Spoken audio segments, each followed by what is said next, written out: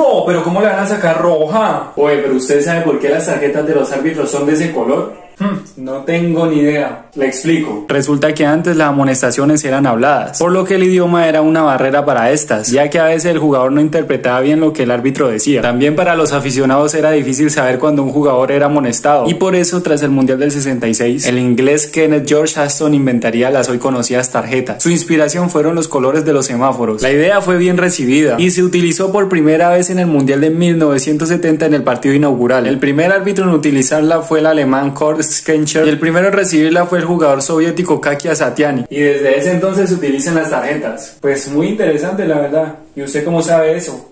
Pues muy fácil, porque sigo Alejo Fútbol.